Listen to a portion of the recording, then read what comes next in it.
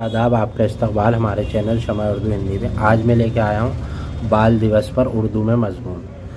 ठीक है तो आप जो है टेंथ में हो, ट्वेल्थ में हो, सिक्स, सेवन टेंथ में हो एन आई एस में हो सी बी एस ई में उर्दू में कहीं से भी हो, आपके लिए बहुत इंपॉर्टेंट है। बाल दिवस यानी बच्चों का दिन हर साल चौदह नवंबर को मनाया जाता है।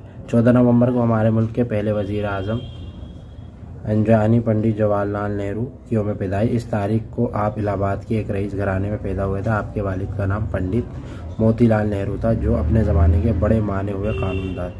पंडित जवाहरलाल नेहरू ने इब्तदाई तालीम हिंदुस्तान में ही हासिल की। अला तालीम हासिल करने के लिए आप इंग्लैंड तशरीफ़ ले गए, जहाँ से आप बैरिस्ट्री पास करने के बाद हिंदुस्तान वापस आए। उन दिनों हिंदुस्तान में गांधी जी की रहनुमाई में तहरीक आज़ादी चल रही थी। चुनाचा आप भी लंदन से वापस आने के बाद तहरीक में शरीक हो गए। आप कई बार गिरफ़्तार हुए और जेल गए। बिला आखिर पंद्रह अगस्त उन्नीस सौ सैंतालीस को अंग्रेज़ों हुकूमत ख़त्म हुई और आप आज़ाद हिंदुस्तान के पहले वज़ीर अजम बने। पंडित जवाहरलाल नेहरू को बच्चों से बहुत प्यार था, इसलिए उन्होंने योम पैदाइश को अपने बच्चों के दिन के तौर पर मनाना शुरू कर दिया। इस दिन चौदह नवंबर को पूरे मुल्क में बड़ी धूमधाम से मनाया जाता है। इस रोज़ तमाम स्कूलों में तफरी प्रोग्राम, जैसे ड्रामा, कव्वालियाँ और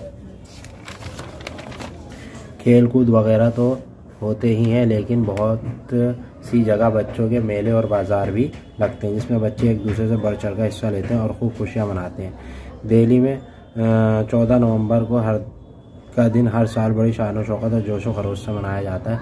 हज़ारों बच्चे खूब सज बनकर रंग बिरंगे, खुशनुमा कपड़े पहनकर पैदल या सवार पंडित जी की समाधि पर जाकर फूल चढ़ाकर उन्हें अपनी तरफ़ से इज़्ज़त एहतराम का इजहार करते हैं।